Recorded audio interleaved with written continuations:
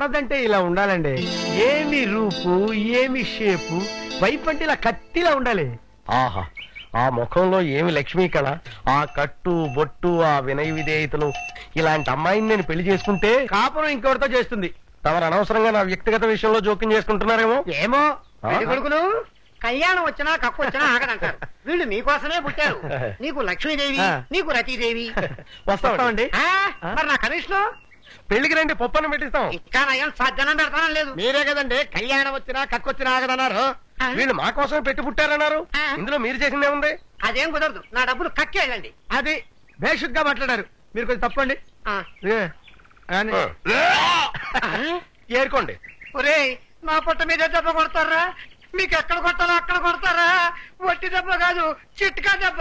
శోభన గదిలో చూసుకోండి రా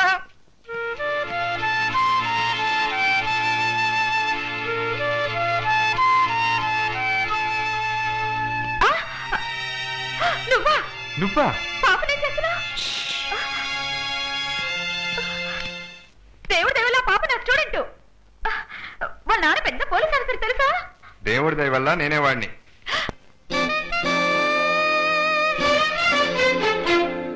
ఆ దొంగ వెధవ మీరా? సారీ పర్వాలేదు. ఏరా వచ్చేసావా? బాగా కొట్టారా? కొట్టలేదు బాస్. కొట్టమని చెప్పానే. ఏంటి ఆడపిల్లలతో మాత్రమే దెబ్బలు తింటావా? ఆ? మొదటి నుంచి చక్రపాణితో చెప్తున్నాను సార్. ఆ జ్యోతి అనేది పోలీస్ ఇన్ఫార్మర్ అని. బుద్ధి జ్ఞానం లేకుండా మాట్లాడుకున్నాం కత్తి చూపించి బెదిరిస్తే ఎవరైనా పోలీసులకు ఇన్ఫార్మ్ చేస్తారు. సార్ అపార్థం చేసుకోకండి. ఆ పిల్ల కొంచెం కరాకండి మనిషి. ఏదైతేనే తప్పు జరిగిపోయింది. కొన్నాళ్ళు అండర్ గ్రౌండ్లోకి వెళ్ళు. ఈ మధ్య పోలీసులు కూడా చెడిపోతున్నారయ్యా. అర్ధ రూపాయి మెడల్ కోసం మళ్ళాంటి దేశోద్ధారకుల ముందే తోకాడిస్తున్నారు. జాగ్రత్తగానే ఉంటాం సార్.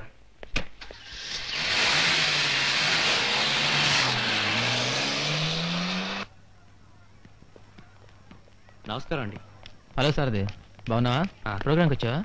ఈ అమ్మాయి ఈ మధ్యన కొత్తగా పాటలు పాడుతుంది. పేరు వాణి. హలో. కొత్త సింగరా? అరే మెడ బాగుంది నాజుగ్గా. అరే జడ ఇంకా బాగుంది. అరే తొడ ఇంకా ఇంకా బాగుంది సాలిడ్గా దవడ కూడా ఎంత బాగుంది కదా? Sorry sir. ఏమిటి వాణి నువ్వు చేసిన పని? అతను ఎవరో తెలుసా? మల్టీ మిలియనర్ దేవి ప్రసాద్ గారు అబ్బాయి. పెద్ద రికార్డింగ్ కంపెనీ కూడా ఉంది. అతను చేసిన సింగర్స్ అంతా టాప్ లెవెల్కి వెళ్ళారు. ఇప్పుడు నేను చేయవేశాను కదా? అతను ఇంకా టాప్లోకి వెళ్ళిపోతాడు? ఎవరికి కావాలి పరిచయాలు? Cake ready? అమ్మ త్వరగా రా.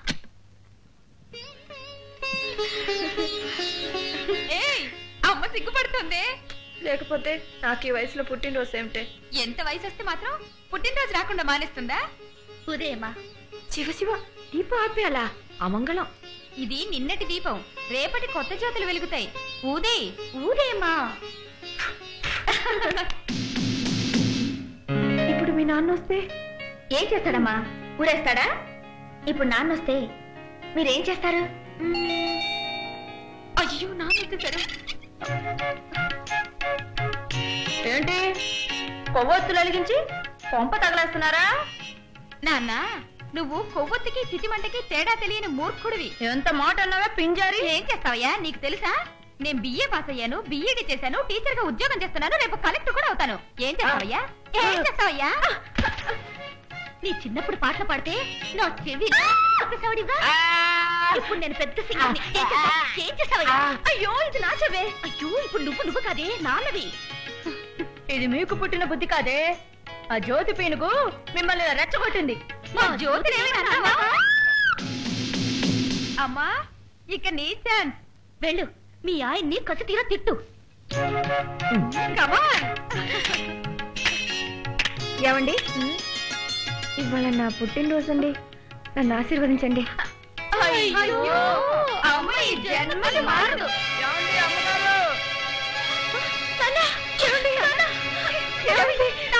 బాబు. పెయింట్ చేస్తూ దాడి కింద పడిపోయారు.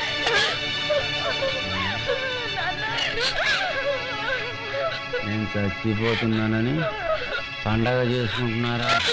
అవే మాట్లాడి ఏమండి డాక్టర్ని పిలవండి. వద్దు హాస్పిటల్కి తీసుకెళ్ళు గాయాలు నెలలో తగ్గిపోవచ్చు కానీ పైనుంచి పడ్డారు కదా. తలకు గాని గుండెకి గాని దెబ్బ తగిలిందేమోనని స్కానింగ్ చేయిస్తే మంచిది అంటున్నారు డాక్టర్. చేద్దాం నాలుగు వేలు అవుతుంది. మా స్కూల్లో అడ్వాన్స్ అడిగితే అంత డబ్బిస్తారా? మన చేతుల్లో కూడా. మహా అంటే వెయ్యి రూపాయలు ఉంటాయి అంతే. డబ్బు కోసం వైద్యం ఆపుతామా? నేను ఏర్పాటు చేస్తాను.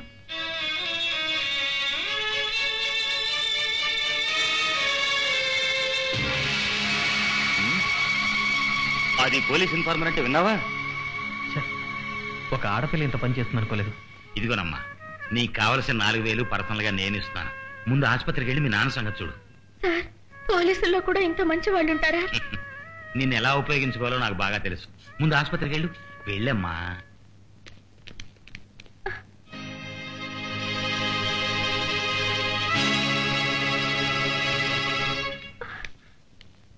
హలో. హలో. అదేంటి? ఆ కాలు విరిగితే ఈ కాలు తొక్కుంటున్నావు అంటు రోగమేమో దీనికి తగ్గగానే దీనికి పట్టుకుంది. బ్యాండేజ్ కూడా లేదు? అసలు నువ్వు ఇక్కడికి ఎందుకు వచ్చావు? అదే బ్యాండేజ్ కనపడలేదని పోలీస్ కంప్లైంట్ ఇద్దామని వచ్చాను. నీకు డబ్బు ఎక్కడిది? కొంచెం అర్జెంట్ పనుంది. తర్వాత చెప్తాను. చావు బతుకులో ఉన్నాడు. ఎవడు? నీ మొగుడా? మా నాన్న. చూడు జ్యోతి నేను పై కనిపించేంత మంచివాడిని కాదు. మర్యాదగా చెప్పు నీకు డబ్బు ఎక్కడిది? అది ఇదేంటి? మీ అమ్మ కషాయం తీసుకుని ఇటువైపే వస్తుంది.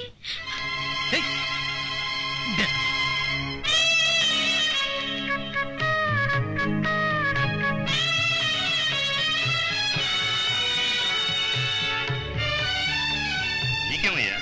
హాయిగా పడిపోయి జాలీగా పడుకున్నావు. పాపం కష్టపడేది వాళ్ళు. మగ పిల్లవాడిలాగా కష్టపడి డబ్బు సంపాదించి నీకు వైద్యం చేస్తోంది నీ మూడో కూతురు. మూడో దేవతి నాకు ఇద్దరే కూతుళ్ళు. మరి ఆ జ్యోతిని అమ్మాయి? ఎవరో అనాథ మా ఇంట్లో ఫుడ్ కోసం.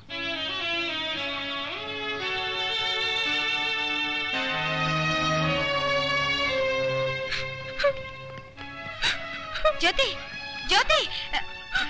ఏడవకు జ్యోతి నాన్న సంగతి నీకు తెలిసిందేగా? ఎందుకు అంత కష్టపడి డబ్బు తీసుకొచ్చి ఇలాంటి నాన్నకి వైద్యం చేయించావు? ఇంట్లో నన్ను ఏమన్నా నేను ఎప్పుడు బాధపడలేదు. బయట కూడా అందరితో అనాథ అని చెప్తుంటే. ఆహా sorry. I'm very sorry Samantha Fox. నీకు రీప్లేస్మెంట్గా నా వైఫ్ వస్తుంది. అయ్య బాబాయ్ ఏంటి ముసుగు? ఓహో ఒక్కొక్కటే తీసేస్తామన్నమాట. లైట్ అయిపోయినా ఏమిటి? అయ్య బాబాయ్. ఏమైంది అల్లుడు గారు? ఏమైందని నెమ్మదిగా అడుగుతారేంటండి? కండ ఊడు చెట్టు కొరికింది. భయపడి ఉంటుందిరా కొత్త కదా. నాకు కొత్త నేను ఎవరో కొరికానా? అల్లుడు గారు మీరు సరిలా రండి. అమ్మాయికి అన్ని చెప్పి పంపిస్తాను. లోపలికి రాగానే లైట్ ఆరిపోయింది. తర్వాత కొత్తదైపోతుంది ఆహా అలాగే. ఎందుకే కొరికావుట? లేకపోతే ఏమిటి? One by one one by one తీసే అంటున్నారు. అదే ఫస్ట్ నైట్ వెళ్ళు. నేను వెళ్ళను. కావాలంటే నువ్వు వెళ్ళు. అయ్యో నీ చెప్పినట్టు చెయ్యి. రంగరంగా. ఇదే విషయం అల్లుడు గారితో చెప్పి రావాలి. దీనికి ఎలా చెప్పాలో ఏమిటో ఏం చెప్పినా అర్థం చేసుకోదు. అల్లుడు వదలొద్దు. వదిలితే మళ్ళీ కలుస్తుంది మా వాడని తేలిగ్గా వదలయ్యా వాడిది ఉడుం పట్టు? చిన్నప్పుడు వాళ్ళ అమ్మ కూడా ఇలాగే అరిచేది? ఇదే గొంతు వాళ్ళ అమ్మది? ఇదేమిటే నువ్వు ఇక్కడ ఉన్నావు? లోపలికి వెళ్ళింది అమ్మ? అయ్యో అల్లుడు లోపల ఉన్నది మా ఆవిడ. తలుపు తీ అల్లుడు తలుపు తీ ఏమిటే? నీకేమీ అవలేదు కదా? అల్లుడు గారు మరీ చిలిపండి ఆ? అల్లుడు మా అచ్చల కుమారికి మగవాళ్ళను చూస్తేనే భయమయ్యా. ఆ. ఇది అచల కుమారా? మరి కుచల కుమారి?